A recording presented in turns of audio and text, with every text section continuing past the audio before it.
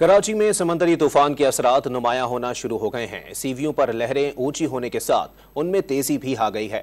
मजीद जानते हैं ton news के नुमाइंदे खावर हुसैन से। जी, खावर, क्या सूरत हाल है इस वक्त सीवियों पर? जी, इस वक्त मैं साहिल पर मौजूद हूँ। कराची के साहिल पर आप मेरे रकम में देख सकते हैं कि तेज और बुलंद उठ रही है इस वक्त, हवा तेज है कराची में।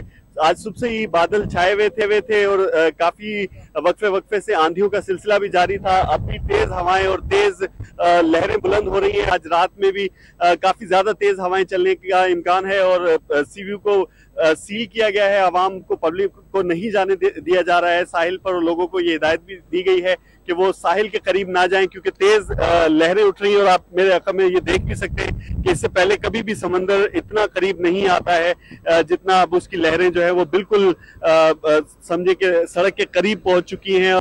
इस, इस हवाले से वज़ीर अला सिंह ने भी एक प्रेस कॉन्फ्रेंस की थी और उसमें भी रिक्वेस्ट की थी शहरियों से कि वो एहतियात करें और समंदर के करीब ना जाए और आप मेरे अखबार में देख सकते हैं कि कितना खतरनाक हो रहा है इस वक्त समंदर की। बहुत शुक्रिया खावर हुसैन हमें अपडेट कर रहे थे।